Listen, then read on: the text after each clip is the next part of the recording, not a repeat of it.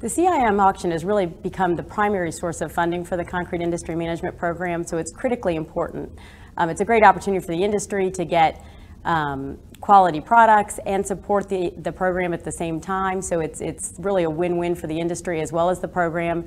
Um, but it has become the major funding source so that these programs continue to grow and enhance their offerings, um, that the students have the opportunity to still come to industry events. Um, those kinds of things are not funded by your, your average tuition that a student would pay. So all of the industry interaction is really a, a very important part of the CIM program, and it's funded basically by funds that come through the CIM auction and then to the National Steering Committee and awarded to the individual schools.